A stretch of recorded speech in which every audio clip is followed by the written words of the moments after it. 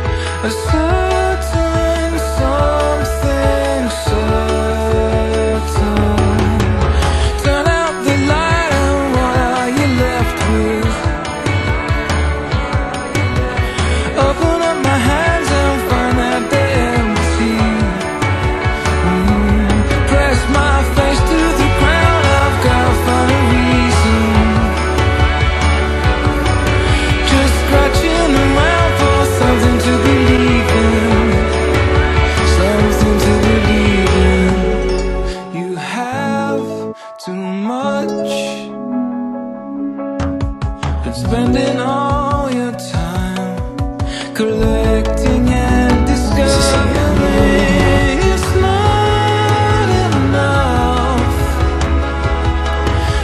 If all we have rests on a few moments in a library three and a half years ago, then I'm not sure. I don't know.